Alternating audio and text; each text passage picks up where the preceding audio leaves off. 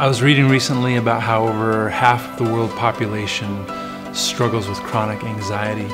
And I wrote the song Sparrows specifically to those of us who are caught in that, you know.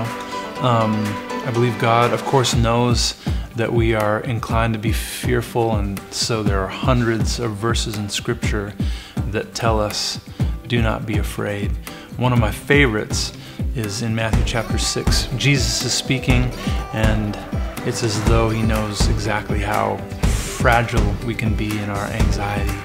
And so he uses the kindest of language and the gentlest of images when he says, Look at the birds of the air and the flowers of the field and see how they are provided for and cared for. And aren't you worth so much more than birds or flowers?